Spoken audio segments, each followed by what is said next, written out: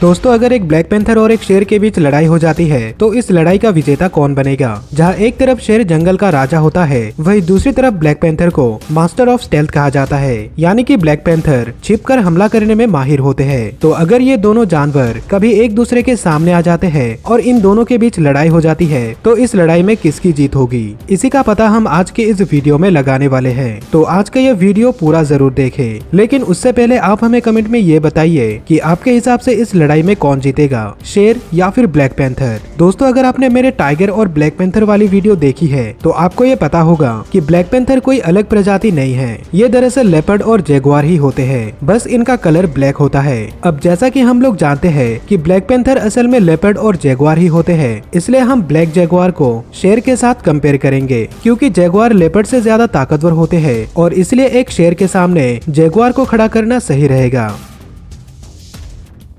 दोस्तों, African lion दुनिया के सबसे बड़े लायन की प्रजाति है। एक अफ्रीकन लायन की शोल्डर हाइट चार फीट तक हो सकती है। मेल अफ्रीकन लायन दस फीट लंबे होते हैं, जिसमें इनका तीन फीट लंबा पूज भी शामिल है, और साथ ही इनका वज़न 150 से 250 किलो तक हो सकता है। वही अगर एशियाटिक लायन की बात करें तो ये अफ्रीकन लायन के मुकाबले छोटे हुआ करते हैं। इनकी लंबाई नौ फीट तक हो सकती है, और इनकी शोल्डर हाइट थ्री फीट होती है। एक मेल एशियाटिक लायन का वज़न एक से एक सौ नब्बे किलो के बीच होता है। अब बात करते हैं जेगुआर के बारे में। जेगुआर अमेरिका का सबसे बड़ा फीलायन है। ये किसी लेपर्ड की तुलना में ज़्यादा ताकतवर और टफ होता है। मेल जेगुआर जो कि साइज़ के मामले में किसी फीमेल से बड़े हुआ करते हैं, उनकी लंबाई 5.6 फीट से लेकर 9 फीट तक हो सकती है और इनकी पूंछ 2 फीट लंबी होती है। साथ ही इनकी शोल्डर हाइट 2.6 फीट तक होती है। एक वयस्क मेल जेगुआर का वज़न 100 से 150 किलो तक हो सकता है। साइज़ के मामले में टाइगर और लायन के बाद जेगुआर दुनिया की तीसरी सबसे सबसे बड़ी बिल्ली है। तो जैसा कि हमने देखा कि साइज़ और वज़न के मामले में शेर किसी जगवार की तुलना में काफ़ी आगे है।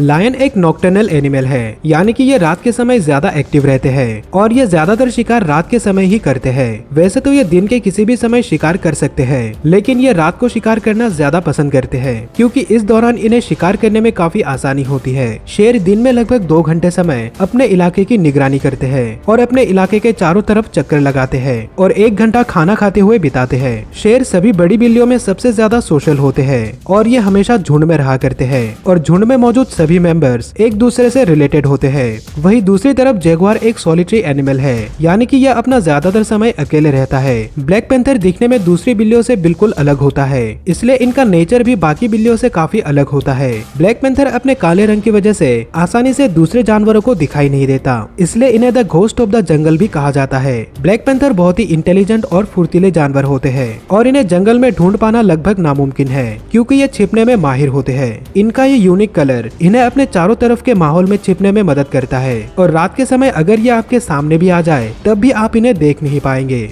शेर की तरफ़ ब्लैक पेंथर भी नॉक्टर्नल होते हैं और ये रात के समय ज़्यादा एक्टिव रहते हैं। और ये दिन में बस पेड़ों के ऊपर चढ़कर वहीं पर सोते हुए बिताता है। ब्लैक पेंथर पेड़ों के ऊपर चढ़ने में माहिर होते हैं और ये यहीं पर से अपने शिकार पर नज़र रखता है। दोस्तों लायन जिन इलाकों में रहा करते हैं, वहाँ पर ये एपेक्स प्रेडेटर होते हैं और ये छोटे जानवरों से लेकर बड़े जानवरों का भी शिकार कर सकते हैं। ये जिन जानवरों का शिकार करते हैं, उनका वज़न 190 से 550 किलो तक हो सकता है। शेर आमतौर पर जीब्रा अफ्रीकन बफलो और जिराफ जैसे जानवरों का शिकार करता है। एक अकेला शेर जीब्रा और विल्डरबिस्ट जैसे जानवरों का शिकार तो कर सकता है, लेकिन बफलो और जिराफ जैसे जानवरों का शिकार करने के लिए ये एक साथ मिलकर काम करते हैं। शेर अपने जबड़ों की मदद से 650 50 पीएसआई के प्रेशर के साथ काट सकता है और ये 80 किलोमीटर प्रति घंटा की रफ्तार से भाग सकता है। साथ ही ये 10 फीट तक जंप कर सकता है। शेर इतने ताकतवर होते हैं कि यह अपने जबड़ों की मदद से 1000 किलो से भी ज़्यादा का वज़न उठा सकता है। इन सब के अलावा एक शेर अपने पंजों की मदद से 180 किलो के फोर्स के साथ वार कर सकता है, जो किसी शिकार को बुरी तरह से घायल करने के लिए काफ़ी है। शेर के दांत काफ़ी मज़बूत और शार्प होते हैं। इनके पास चार कैनाइन दांत होते हैं, जिनकी लंबाई सात सेंटीमीटर तक हो सकती है। इनके दांत शिकार के बॉडी को चीर डालने के लिए और हड्डियों के टुकड़े करने के लिए बनी होती है।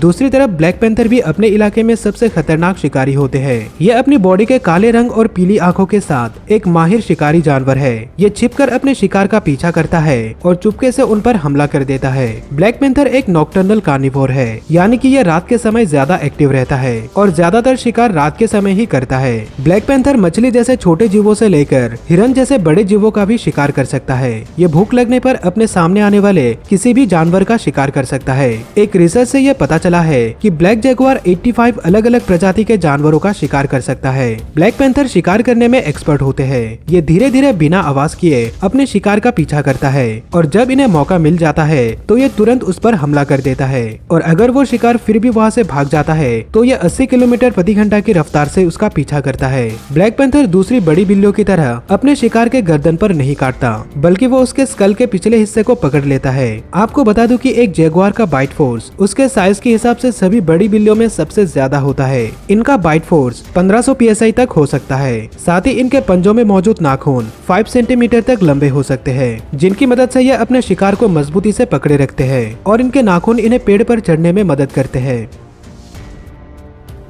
दोस्तों, शेर एशिया और अफ्रीका के सवाना में रहा करते हैं और वही दूसरी तरफ़ ब्लैक जगुआर अमेरिका के जंगलों में रहा करते हैं। इसलिए ये दोनों जानवर कभी एक दूसरे के सामने नहीं आएँगे। लेकिन अगर हम ऐसा मान लेते हैं कि ये दोनों जानवर किसी तरह एक दूसरे के सामने आ जाते हैं तो ऐसे सिचुएशन में इन दोनों के बीच ये लड़ाई दो जगहों पर हो सकती है। या तो ये लड़ाई जंगल में होगी या फिर सवाना में। अगर ये लड़ाई सवाना में होती है तो यहाँ पर शेर के पास ज़्यादा एडवांटेज होंगी, क्योंकि यहाँ पर वो खुद को आसानी से छिपा सकता है और ब्लैक पेंथर के ऊपर हमला कर सकता है, जिससे ब्लैक पेंथर को बचने का भी मौका नहीं मिल पाएगा। वैसे तो शेर का व्हाइट फोर्स जेगवार के मुकाबले काफ़ी कम होता है, लेकिन ये साइज़ और वज़न के मामले में जेगुआर से काफ़ी आगे होता है। इसलिए जब शेर ब्लैक पेंथर के ऊपर हमला कर देगा और उसे अपने पंजों और दांतों से पकड़ लेगा, तब ब्लैक पेंथर का इस लड़ाई में जीत पाना नामुमकिन हो जाएगा। इसके अलावा ब्लैक पेंथर खतरों से बचने के लिए पेड़ों पर चढ़ जाते हैं, लेकिन सवाना में पेड़ों की संख्या काफ़ी कम होती है, इसलिए वो शेर से भाग भी नहीं पाएगा। जब शेर अपने सात सेंटीमीटर लंबे पंजों को ब्लैक पेंथर की बॉडी में धसा देगा तो वो बुरी तरह से घायल हो जाएगा, और फिर शेर उसकी गर्दन पर काटकर उसे इस लड़ाई में हरा देगा। वही अगर ये लड़ाई जंगल में होती है तो यहाँ पर ब्लैक पेंथर के पास ज़्यादा एडवांटेज होंगी। वो पेड़ों के ऊपर बैठकर शेर के ऊपर नज़र रखेगा, और जैसे ही शेर बिल्कुल उसके नीचे होगा तो वो तुरंत शेर के ऊपर हमला कर देगा। लेकिन पहले हमला करने के बाद भी ब्लैक पेंथर के लिए शेर को हरा पाना मुश्किल होगा, क्योंकि वो शेर के स्कल के पिछले हिस्से को काटने की कोशिश करेगा। लेकिन वो वहाँ पर अच्छे से पकड़ नहीं बना पाएगा और शेर आसानी से छूट जाएगा और पलट कर ब्लैक पेंथर के ऊपर हमला कर देगा। इसलिए हम ऐसा कह सकते हैं कि चाहे यह लड़ाई सवाना में हो या फिर जंगल में, दोनों ही सिचुएशन में शेर के जीतने के चांसेस ज़्यादा है और इन दोनों की लड़ाई में 90 परसेंट केसेस में शेर की ही जीत होगी। आपको इस बारे में क्या लगता है? कमेंट ज़रूर करें। दोस्तों, अगर आपको इसी तरह की और भी वीडियोस देखनी है तो स्क्रीन पर दिखाई गई किसी एक वीडियो पर क्लिक करें और साथ ही इस चैनल को सब्सक्राइब करें। इस वीडियो को आखिर तक देखने के लिए आपका धन्यवाद।